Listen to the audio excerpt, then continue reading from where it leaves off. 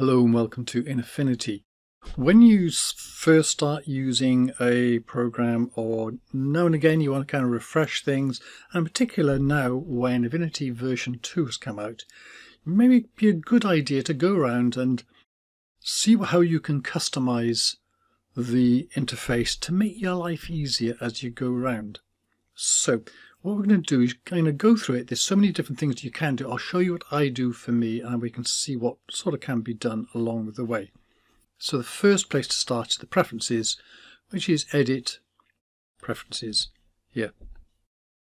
The general things up here, there's lots of information. The way to find out what you can do is if I go to help and affinity photo help here or F1, it's going to put up on a separate screen. So I'll bring it down here and then just type in preferences. Here. And down here there's preferences there. And this then will give you a lot of the description sometimes they it doesn't necessarily describe it particularly usefully but at least it, it has a go and it gives you certainly more than you get otherwise. So all this is about those. And it can you know there are more things elsewhere but that's what you can generally look for don't worry, I don't bother about changing any of these. The color things I've not changed. Performance. The one thing I do change in here, or have changed in the past, is this one here, hardware acceleration. Because it'll try to use your graphics card if it's you've got one, and it doesn't always work well because it can hang, it can cause strange effects and crashes if it doesn't know how to talk exactly to the particular variant you've got with all the firmware and everything else. So if in doubt, if it, things are crashing and so on, just uncheck that and then it'll go a little bit slower on some things, but it shouldn't crash. With the user interface, then there's various things down here you can kind of play with, but the ones I would most use is up here doing things like the user interface, brightness, and so on. And what I will do is I, you can go to the default, which is like this, but also you can go to the high contrast. And I will generally go to high contrast, contrast because things stand out a little more. What else do we have here? Tools.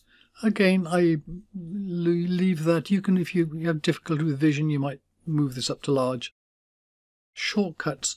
I changed quite a few things here because I, I use things on the keys, for example. And if in doubt, you, if you want to start from the beginning, you click reset here and it'll put everything back to the defaults. So we'll start from that and that's what you, you if you've not changed anything, this is what you'll see. So what we'll start here with is, and I'm just looking at a list of things I've got here to try out. Yes, first of all is export. Um, I export a lot because if you want to output as a JPEG for use on the web or to, you know, show it, give to other people and so on, then it's the export you want. And this is Control Alt Shift S. So it's a bit of a pain. So I click here and you just hold on the key. So Alt down, hold on the Alt key and it says there, and then the X, and then you let go. If you want to clear it out altogether, hit the little X over here and do it. But if you if you did say hit Control C on that, then it is a little triangle there and it says this is actually already allocated to copy. So you know if you're trying to duplicate it. So we'll put Alt X there. The other thing I will do is new from clipboard. So if I want to take a screen grab, like Alt Print Screen, and I want to edit that, which I'll do sometimes in making videos, then I don't want to do Control Alt Shift N. So I can just do Alt N. And a lot of these keys, the Alt, you can do Alt this and Alt that and so on, which is generally pretty handy. So what else have we got? This photo file here, it means you're in the photo persona and the file. I don't do anything but the photo photo on because that's where I spend most of the time. So what else have I got here? Uh, ah, yeah, photo layer. So the layer menu up here. And in this one here, this, the one of these I do, see I don't change too much, but it's the ones I use. One I use a lot of is merge visible, which is Control Alt Shift E. Could merge visible will put a layer on top of just everything that you've got so far into a single layer and it can make calculations quicker because it doesn't recalculate underneath and lets you do some other things as well. But again, I find that, you know, to do, do that, it's sometimes called the claw because your hand turns into a claw. But I'll do an Alt-E for that. Again, there's no little triangle, so that's safe. So what else? You can do other things, for example, in here, photo, I have to go back, scroll up to the top to the next one, photo select. A useful one in here is to deselect layers. And the reason for that is, is that when a layer is selected here, if I say put in an adjustment, it may well put it as a uh, child, but I might want it to go above. Deselect layers takes the selection off that. And so if I go there, I'll just do Alt D. and That's okay. Then if I'm out here, and this is selected, if I hit Alt D, you can see that selection disappears, so any new adjustment will go above it because it doesn't know where else to put it. In here as well is it shows you some new things. It's a good idea to go down and read these because you often go, oh, that's useful, or what is that? And you then go and find out what it is. So things like here, select next layer and select previous layer. You know, um, those, if you've got a stack down here, you can sort of skip down these, which is also particularly useful when doing macros. What else? Photo view. The grid. I use a grid a lot for things. I'm just going to turn this off for a moment. Because if I go to view grid, which is control single quote, if I click on that, nothing's shown. And it's because it's changed the default. You zoom right in, right, right, right, it's right at the pixel level. I don't particularly want it there. I like to be able to see it. So I control zero to go back out again. So what I want to do is go to view and grid and axis here, where I can now reset that to something useful. So, you know, for typically I'll go to, if I click on basic here, for example, it's got this, but I want to come here and I can turn the grid on and off here as well. So go back to my preferences and go to my shortcuts and it was photo view and it was the grid and axis, that one there. So if I do Alt G, sorry, wrong one, Alt G, there we go.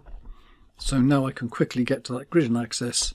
And, and again, let's just turn it off for the moment. And if I go to uh, View, Grid and Axis, you can see they always appear up here anyway, which is really handy. So, go back to Edit Preferences. Back to shortcut. And we just did view that was the only one doing that. Photo to the window. And one of the things you can do here is at the moment this here the the uh, adjustments used to be in the this here as a default but it's not but it's still here. So I click on adjustment here and I'll put, I can put in say Alt A. There we go, that's available. So that brings this on. So now if I go to view, sorry, Windows and it, an adjustment, there was Alt A, this appears here. So what I'm going to do with it is it might appear in here or somewhere else. I could drag it into here so it would appear in here, but see everything turns into a shortcut there. But what I'll do is I put it there. See the way the, the blue show was where it's going to be? now I can see all of them because this gives me presets. So I can now go here and loop in any of these. First one's the default if I wanted to put in levels, but I could then put one with the darken in. And here it is, and it's moved the black level up a bit to darken the picture. So I can just delete that and leave that back there, and I hit Alt A again there we go, disappears, Alt A comes back again. So now I can quickly snap into my defaults for each of those, the adjustments. Going back again to the preferences and shortcuts and photo window And these two things I use a lot of because I have a lot of macros. I use these. So library is Alt L, macro is Alt M. Then there's only one other the shortcut I use, and that is if I go back up here, and this is down here. You can do these, bring in any of the tools you want as well, which are the ones down here. And down to this odd one at the bottom is miscellaneous and that is set the fill to 50% grey, which means when you, because sometimes you want to set it to black or white, which you can do D, will set the, the forward and background to black and white, just letter D, um, it's the same default in Photoshop, and then you use X, which is it backwards and forwards. But if I want just to go to 50% grey, which sometimes I do, I use Alt and what can I to put in there? G. Oh, what's that say? Oh, I set that to grid axis, didn't I? So let's say Alt F. There we go. Alt F to fill and it reminds me to 50% grey. Okie doke, that's that one there. And that's just the plugins, but we're going to go on. So this is taking a little bit of time, but we're doing things that we use quite a lot here. So the next thing to set up um, is something like, if I go to filters here and plugins, then I would like to be able to have in here things like Nik filters. So to get to that, go to Edit Preferences again, and go to Photoshop Plugins. And then I'm going to go here, I'm going to add here, I'm going to go to my C drive and go to program files. It's going to be one of the program files or the program files 8x86. I'll try one of those. And it's DxO, there it is a Nik collection. So I'll just leave it on that and say select folder. You've got to restart the program for them to appear. But what you also want to do, because is to, down here it says allow unknown plugins to be used. You need to check that one as well. Then close that. And it says, there we go, restart required. Change some preferences. Would you like to restart now? So I'll say yes. And you want to save that one? No, I don't save that one. And there we go. Here, it's restarting. That's underneath. I've actually got the previous version there. And here I am ready. And I go to recent photographs. and I'll pick in up that one. Don't want a recovery file. And here it is. There we go. Right. And so now, if I go to filters, plugins, Nik collection, and here's all of the Nik filters because I remember to say let, let, allow those extras in as well. What else? Yeah, the panels here. So these panels here are the ones from window here. So we did the adjustment one in this one in here, which goes Alt A, which brings out that one, and again turn it off again like that.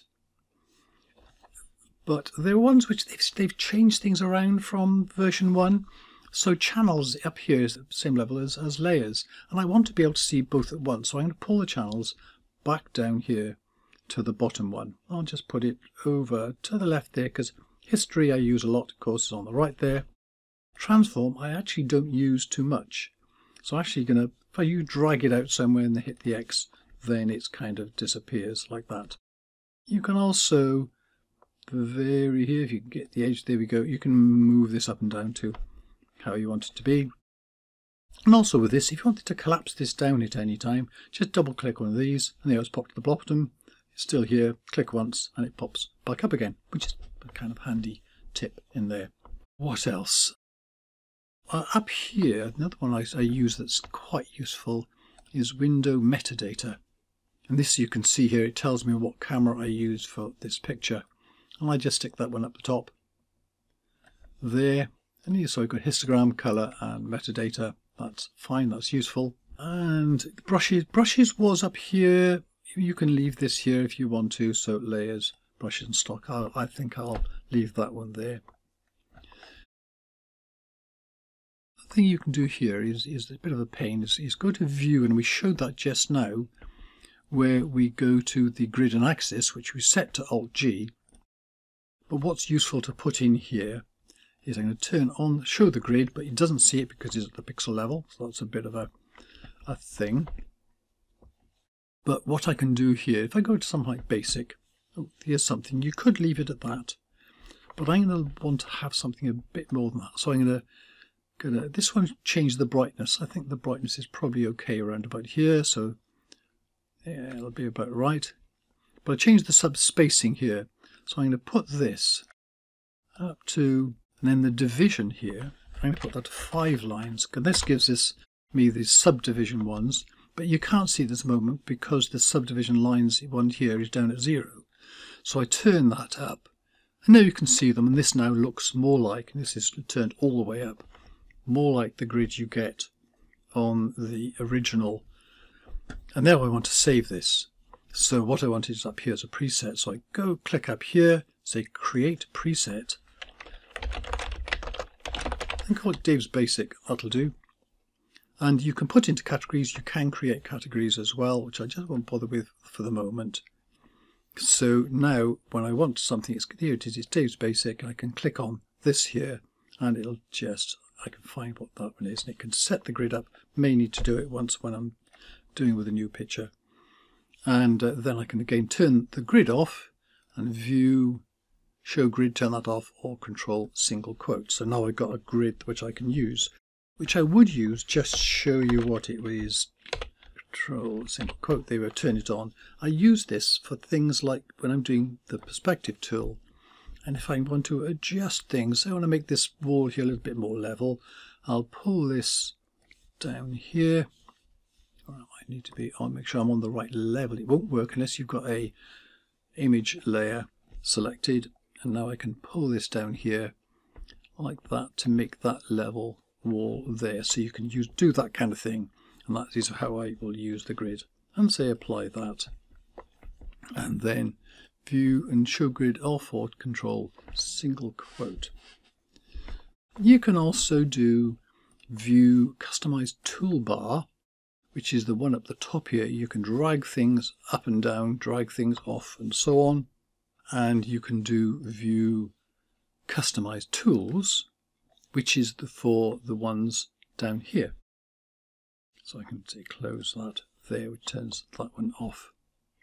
And what you can also do is, if you do things quite often, you can record macros. And I won't do that one here because it'll take another 10, 15 minutes. So we done about 20 minutes so. That's probably about enough for now. So I can take things I don't want here. And that is the whole system now set up so I'm going to be able to use it as quickly as possible. Remember I was making notes as I went along and so I'll put on a post-it note and help me remember and before long I'll be working much quicker. Anyway that's it and thank you very much for watching.